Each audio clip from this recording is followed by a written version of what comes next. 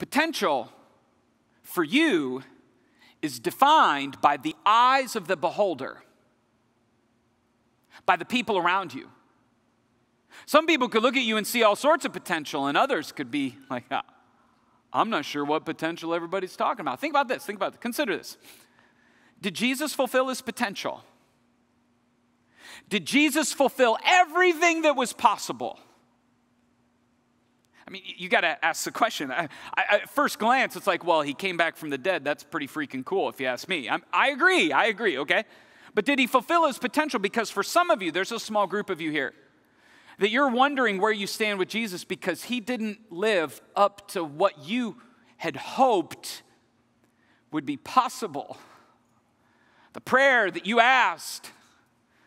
And so you're wondering potentially what's going on with Jesus. Think about it when Jesus walked the earth, did he heal every single person that came into contact with him? I mean, we like to think yes, but the answer is no.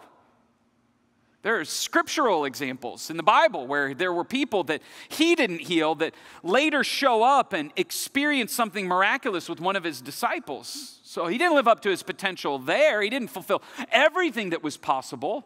Did he overthrow or like cleanse the religious system of all the corruption? The answer is no. Did he overthrow Rome, which is what every Jewish leader wanted? The answer is no. Think about what we're celebrating this weekend, Palm Sunday where an entire movement of people came out to the Mount of Olives down Palm Sunday Road, declaring him, Hosanna in the highest, celebrating him, declaring his potential.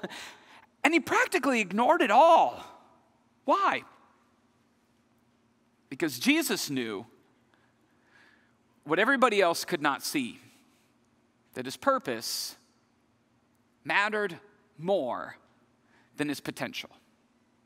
And I think the same thing is true for every single one of you. You see, you can spend your whole life chasing potential and miss your purpose.